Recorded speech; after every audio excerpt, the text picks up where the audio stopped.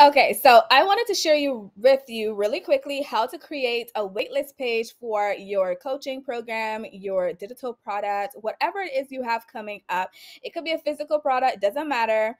I want to show you how you can create that page in minutes. Okay, so I'm using a tool called Lead Pages. I'm going to leave the information in the bio so you can check it out but I'm using this tool called Leadpages. And this tool is honestly something I use all the time. It's really straightforward to use.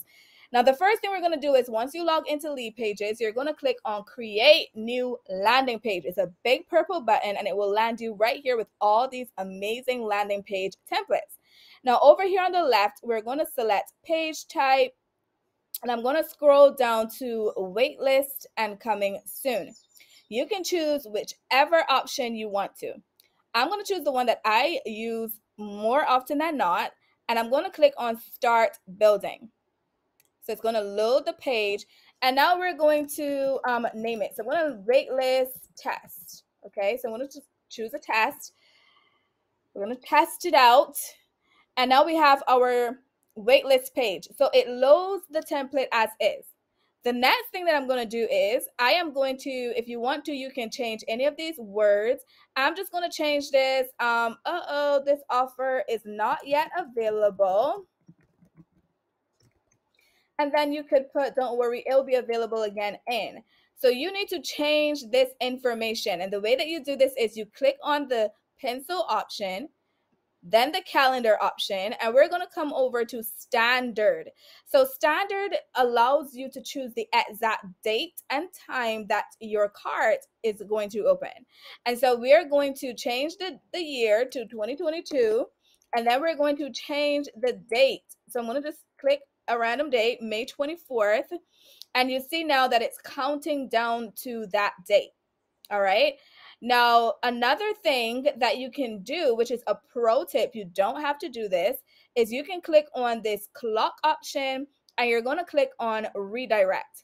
So, what does this mean? This means that once this timer, this countdown hits zero, it's going to send your people to the sales page, which I think is really, really important. And it's a really great pro tip because let's just say you sent out an email and your people um, um, click on this after the sales page is already live, it won't take them here. It will take them to the sales page so that they can go ahead and see your offer in all of its glory. All right.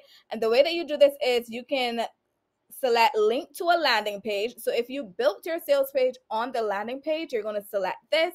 If you built your sales page, let's say on your website or it's on an external app, you're going to click link to an external URL. You're going to paste that URL here. And I am not going to click open in a new window because I don't want it opening in a new window. I want it to seamlessly redirect to that new page. Okay. So that's a quick pro tip. Now, the last thing that you need to do is you need to click here and you need to click on edit pop up. So you're going to collect email addresses so that you can communicate with whoever is interested in working with you or purchasing the product or offer that you have this waitlist for. So one of the things that I want to do is click on edit integrations and I'm going to change my fields. So I'm going to add a field, first name, done. Now I'm going to bring my first name up because I like name, email. And the reason why I collect first names is so that I can personalize the emails when I am sending them out. Okay. Now you can change all this good stuff right here. You can change all of this. One final thing you want to do is you want to make sure that you are integrated with your um, correct account. So here we have my ConvertKit account, and then I'm going to select whichever option here, whichever um, form I want this page to integrate with. So I'm going to select ConvertKit. I'm just going to select a random form and it's going to sync to that form.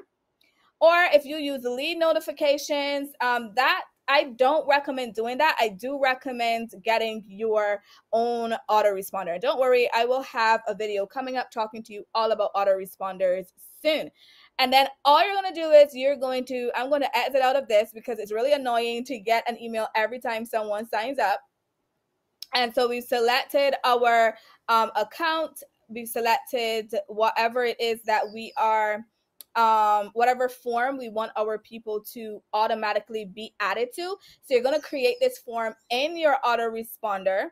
All right. And then you're going to select the form and then you're going to hit publish. And once you hit publish, your page is going to be live and you are good to go. So I'm going to put a link down below and I'm going to put more information and resources to help you with creating a really straightforward waitlist page for your product, your offer, whatever it is you want to build your waitlist page for. And make sure you subscribe for more videos just like this.